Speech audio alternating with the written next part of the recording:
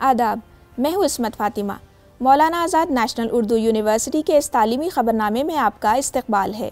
आइए नज़र डालते हैं आज की सुर्खियों पर।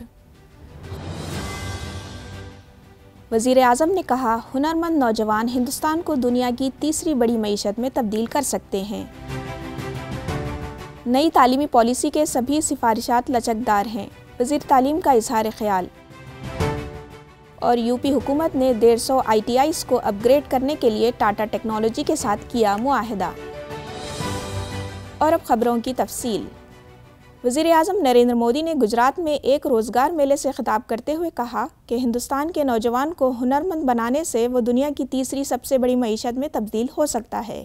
उन्होंने मुतद सनतों में फैले हुए इम्कान से फ़ायदा उठाने के लिए एक हुनरमंद अफराधी क़वत तैयार करने की अहमियत पर ज़ोर दिया। वज़ी अजम ने कहा कि गुज्त पाँच सालों के दौरान गुजरात हुकूमत ने डेढ़ लाख नौजवानों को नौकरियाँ दी। इसके अलावा गुजरात में गुज्त चंद सालों के दौरान तकरीबन 18 लाख नौजवानों को रोज़गार के तबादले के ज़रिए मुलाजमतें हासिल हुई हैं। हम सबकी प्रतिबद्धता का प्रमाण है। मुझे खुशी है कि ज़्यादा से ज़्यादा संख्या में रोज़गार उपलब्ध कराने के लिए केंद्र सरकार के सभी विभाग और एनडीए की राज्य सरकारें लगातार काम कर रही हैं। आज जिन युवाओं को नियुक्ति पत्र दिए जा रहे हैं, उनके उज्जवल भविष्य के लिए और उनके परिवार के सुख समृद्धि के लिए मेरी बहुत बहुत शुभकामनाएँ हैं। मरकजी वज़ीर तालीम धर्मेंद्र प्रधान ने कहा कि नई तालीमी पॉलिसी की सभी सिफारिशात लचकदार हैं। ख्वाह मुलाजमत से वाबस्ता निसाब हो या कारोबार से मुंसलिक या कर्ज़ों से वाबस्ता तालीमी निसाब हो। आईआईटी मद्रास में इलेक्ट्रॉनिक निज़ाम में चार साल की बैचलर इन साइंस डिग्री का आगाज़ करते हुए उन्होंने कहा कि आला तालीम के निज़ाम में मैार के साथ उसे काबिल रसाई बनाया गया है। वज़ीर तालीम ने कहा कि इस प्रोग्राम का अहम मकसद इलेक्ट्रॉनिक्स के शोबे में हुनरमंद ग्रेजुएट अफराद की बढ़ती हुई मांग को पूरा करना और भारत में मैन्युफैक्चरिंग शोबे को बढ़ावा देना है। This course is going to create a new benchmark for all other important institution and industry also that is the primary positive character of this be uh, electronics ecosystem course or, or the data science course. If you want to, number one, in our economic front of the world, today we are in the number fifth position. We are the natural leader of the emerging economy. This BSc course is a big step forward on that direction to fulfill the vision of Honorable Prime Minister Narendra Modi ji university grants commission के chairman M Jagdish Kumar के मुताबिक, वजारत तालीम एक ऐसा platform शुरू करने के लिए तैयार है, जो तलबा को मुसाबती और दीगर इम्तहान की तैयारी के लिए खुद रफ्तार इंटरेक्टिव माहौल फराहम करेगा। Platform self assessment test and help for entrance exams को आईआईटी कानपुर के साथ मिलकर तैयार किया गया है। इस प्लेटफॉर्म का मकसद माशरे में उन तलबा के लिए खला को पूरा करना है, जो दाखिला इम्तहान की महँगी रहनुमाई और कोचिंग के मुतहमल नहीं हो सकते।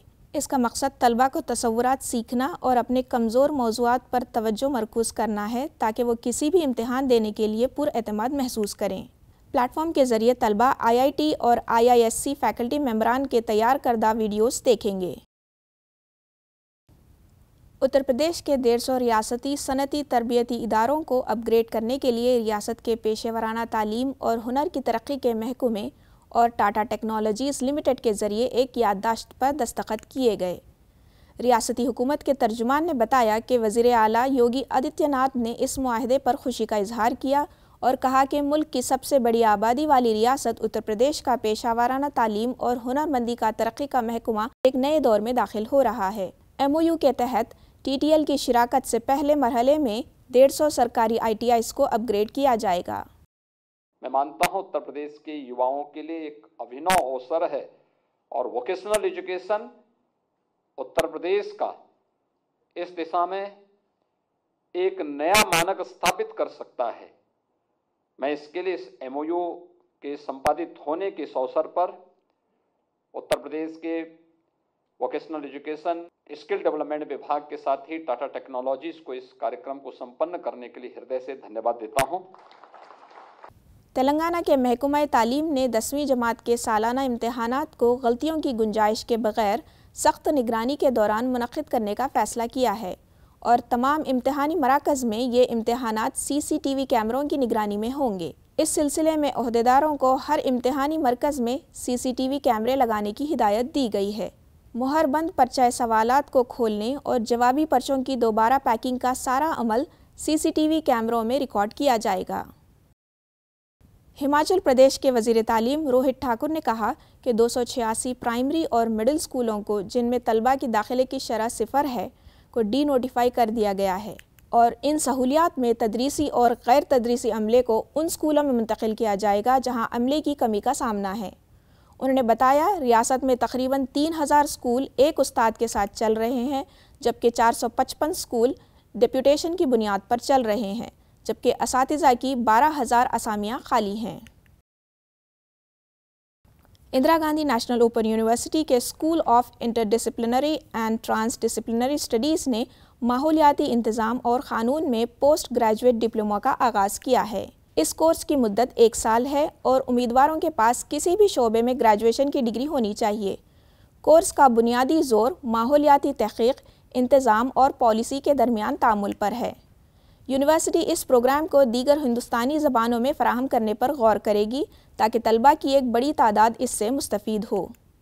ख्वाहिशमंद उम्मीदवार इग्नू की ऑफिशियल वेबसाइट के ज़रिए दरख्वास्त दे सकते हैं।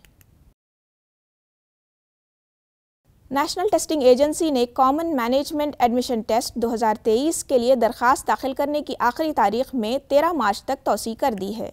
इससे कबल सी मैट दो हज़ार तेईस के लिए दरख्वास्त देने की आखिरी तारीख 6 मार्च थी। दरख्वास्त दहिंदा के पास किसी भी शोबे में बैचलर की डिग्री होनी चाहिए। बैचलर डिग्री के आखिरी साल के उम्मीदवार भी सी मैट दो हज़ार तेईस के लिए दरख्वास्त दे सकते हैं। मज़ीद तफसीत के लिए सरकारी वेबसाइट मुलाहजा करें। आइए आखिर में एक बार नज़र डालते हैं आज की सुर्खियों पर। वज़ी अजम ने कहा, हुनरमंद नौजवान हिंदुस्तान को दुनिया की तीसरी बड़ी मीशत में तब्दील कर सकते हैं। नई तालीमी पॉलिसी के सभी सिफारिशात लचकदार हैं वज़ी तालीम का इजहार ख्याल। और यूपी हुकूमत ने डेढ़ सौ आई को अपग्रेड करने के लिए टाटा टेक्नोलॉजी के साथ किया मुआहदा।